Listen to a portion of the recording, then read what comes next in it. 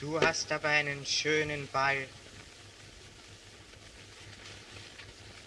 Wie heißt du denn? Else Beckmann.